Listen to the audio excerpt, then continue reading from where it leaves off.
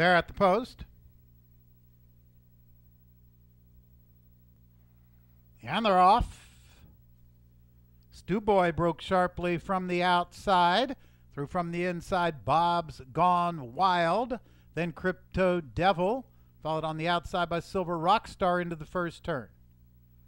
Stu Boy with the lead by a half length. Gaining ground up on the outside, that Silver Rockstar takes second. Brother Stewart is third. Bob's Gone Wild runs fourth. Crypto Devil fifth. Magical Moment sixth after a quarter of 24 and 1.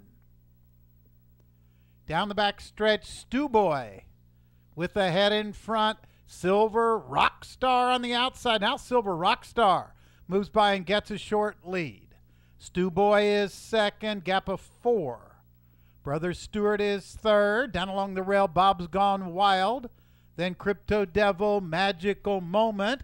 Half went quick, 47 and 4. The leader, Silver Rock Star, now draws off. Silver Rock Star has a two length lead. Stu Boy is still second. Then Brother Stewart, Magical Moment is moving from the outside. Then Crypto Devil, Bob's Gone Wild now trails as they move into the stretch.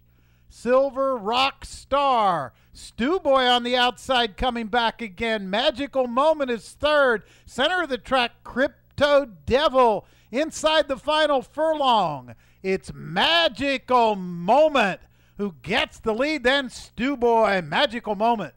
Wins it by a length and a half over Stu Boy, Silver Rock Star, and Crypto Devil.